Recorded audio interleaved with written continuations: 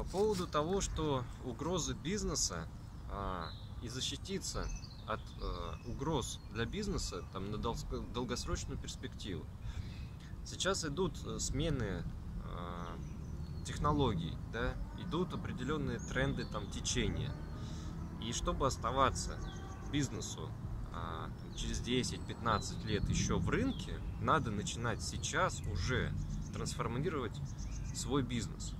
Неважно, хоть он крупный, там, средний или даже мелкий бизнес, все равно нужно уже смотреть на технологические изменения. Для этого обязательно нужно применять уже сейчас то, что называется там токеномика, да, криптономика, там юнит-экономика, то есть включение внутрь бизнеса мотивационных схем для сотрудников и для контрагентов, для того, чтобы а, был взаиморасчет между контрагентами, между партнерами, внутри холдингов, а, между юридическими лицами отдельными, а, расчет взаимозачетами.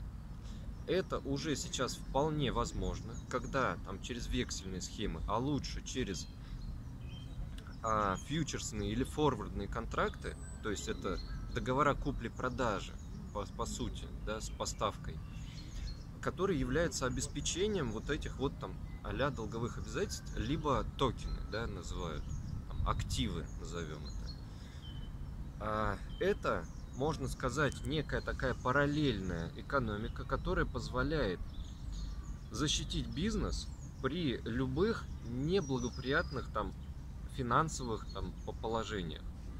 А я считаю, что это необходимо делать каждому как минимум задумываться и держать э, руку на пульсе там современных технологий.